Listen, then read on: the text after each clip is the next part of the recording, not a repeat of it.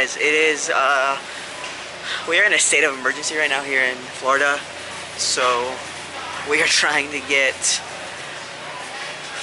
anything we can, which there's a very limited amount of stuff here right now.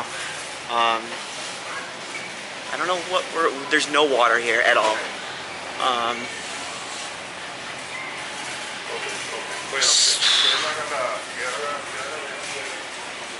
yeah, I don't know what we're gonna do. Hey guys, what's going on? Another short vlog for you today because pretty much been prepping for this hurricane that may or may not come.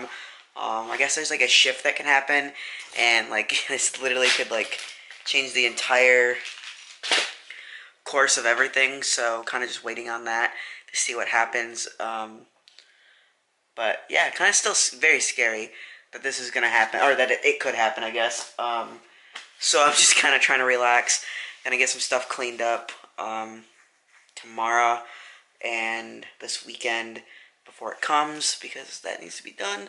Yeah, I don't know. I don't know what to say, guys. I'm just super, super tired. Um, song of the day is going to be Miss Americana and the Heartbreak Prince because it's such a good song, and I listened to it a few times the other night, uh, or on the way on the way home yesterday from the air from Chicago. um, and I actually meant to have the song of the day be "The Ocean and the Sun." But um, I said planes, trains, and automobiles. I was very tired last night when I was vlogging, as I am right now. So I'm actually literally getting ready to go to bed right now. So, um, yeah. But uh, anyway, guys, I hope you all had a fantastic day today.